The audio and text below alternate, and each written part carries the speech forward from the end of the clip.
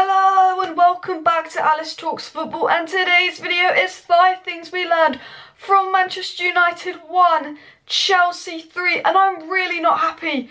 I'm really not happy. It's not the result that's made me unhappy, it's the performance. You know, if we'd lost 3-1 and we played well, I would be less angry, less annoyed, less disappointed.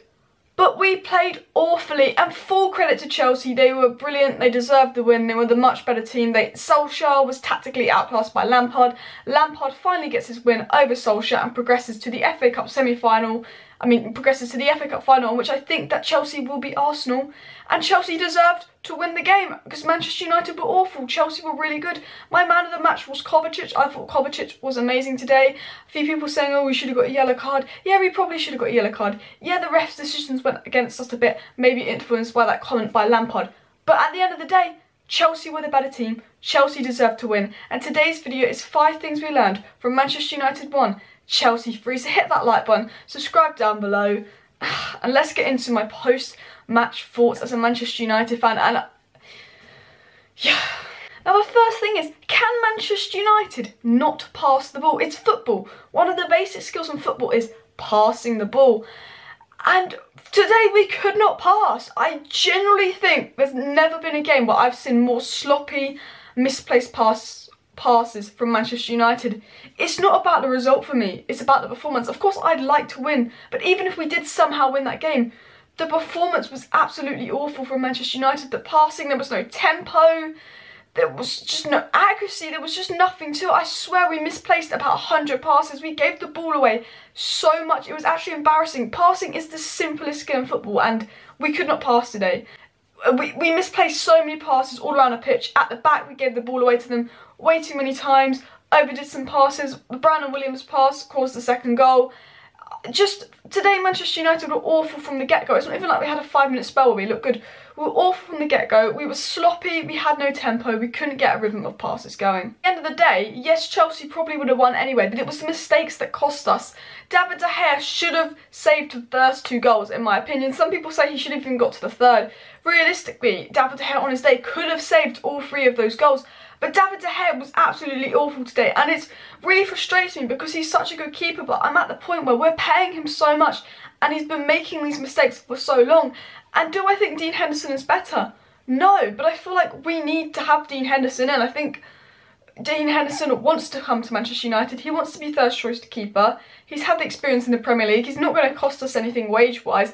I think we. I think I'm actually at the point where I've had enough of David De Gea. He was amazing last week and I've always backed David De Gea, but this performance was David De Gea's worst performance. And I do think maybe Manchester United need to get away from David De Gea when they've got Dean Henderson there.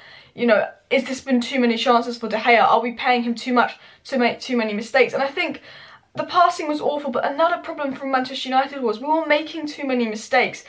Chelsea playing well caused us to make those mistakes, but it was just sloppy, there was no tempo, and there was way too many mistakes from Manchester United today. Okay, the second thing, and it's the only thing that isn't really negative in this video, and I don't think anyone played well today. I think there are a lot of really poor performances, and by Bruno Fernandes' standards, he was really poor today, but I think Bruno Fernandes and Martial, and maybe Greenwood, because Greenwood just came on, he, he didn't really do much, but I think they're the only three players that can come off the pitch and be like, I wasn't awful. I think they all think I think they all know they could have played better. I think for Bruno Fernandes' standard, that was a poor game. But Bruno Fernandes was the only player making things happen, especially in the first half. Bruno Fernandes, he misplaced a lot of passes, but the amount of final third passes Bruno Fernandes completed, the amount of things he was trying to do, but the players around him weren't doing it, and it was.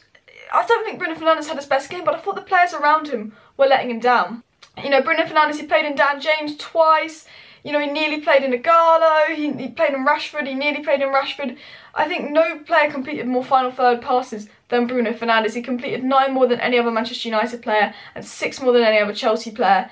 And I don't think, for Bruno Fernandes standards, I don't think he was good, but I don't think he was awful. He was, it was a bang average performance. But it, but he was the only player on that pitch actually doing something going forward. We didn't create anything going forward. We maybe had maybe two shots on target and it was kind of out of nothing. The only thing that happened going forward was through balls that Bruno Fernandes tried to create. And, you know, he couldn't quite reach Dan James. He couldn't quite reach Rashford. And a lot of that was to do with the structure and organisation of Chelsea's defence.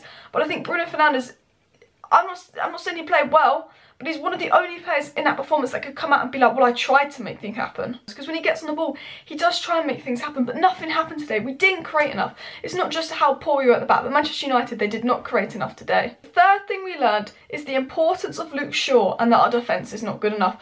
I thought today we were a mess defensively. I actually think that's the worst defensive play I've seen under Manchester United.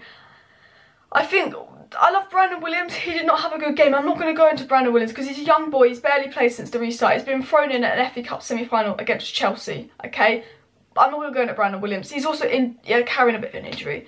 But I think that today showed the importance of Luke Shaw. And Luke Shaw is a very criticised player. But I think Luke Shaw gets really over criticised. I think going forward, Luke Shaw's improved his game massively, but also defensively, Luke Shaw has that stability. I think Luke Shaw's quite a good left back defensively, and I think today once again proved that, you know, Luke Shaw is an important player and that we do need another centre-back. I, I, I think Lindelof and Maguire have put in some pretty good performances, but today they were shambolic.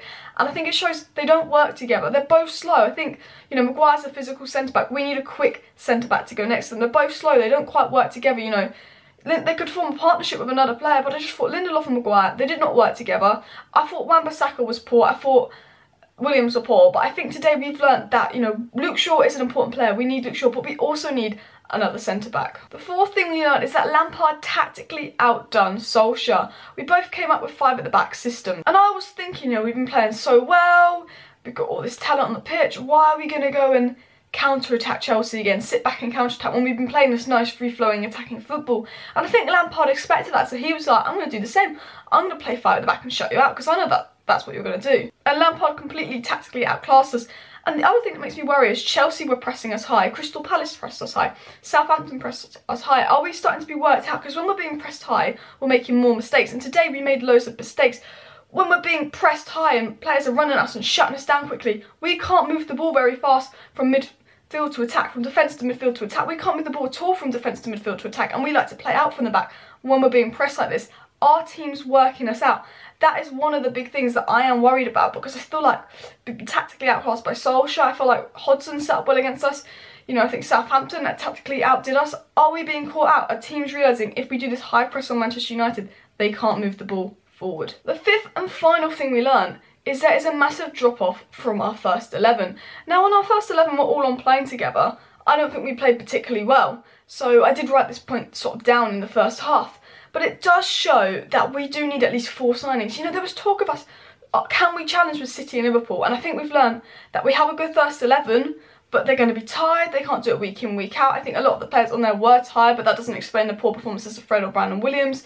But I think it explains that we do need at least four signings if we actually want to be anywhere near City and Liverpool because we're going to be playing three games a week. We're going to have injuries, we're going to have rotation. And we know that once one player comes out of our main starting 11, I mean Luke Shaw for example, we instantly don't look as good. And I think from this, I've learned that Manchester United need to sign Jadon Sancho because we need another attacker that adds something. We need to sign a Donny van der Beek or a Jack Grealish so we have another creative midfielder something. We need to sign a Wilfred Ndidi because he's a holding CDM. He's young. I think Matic is good, but we've got no other CDM other than Matic. Wilfred Ndidi has that energy that I feel like we're lacking. Has he's a tackler CDM. He can help shield the defence, giving Pogba and Bruno the ability to go forward. And we need another centre back, a quick centre back that can slot in next to Lindelof or Maguire. And I think it's really proved that you know things aren't perfect for Manchester United. We need another good four signings. I was also really disappointed about playing a back five and I hope we never play a back five again. I think the reason we lost is because we started with a back five and for me, we need to play four at the back, 4-3-3, counter-attacking football. We need to get an Ndidi and we need to get Sancho and maybe a Van der Beek and another centre-back. That's what I think Manchester United need to do. But that's five things we learnt versus Chelsea. I'm not happy with the result. I'm not happy with the performance more than the result. But please hit that like button, subscribe down below, share this video and comment down below in the comment section your thoughts on the game. I'll try and reply to as many comments as I can. See you next time.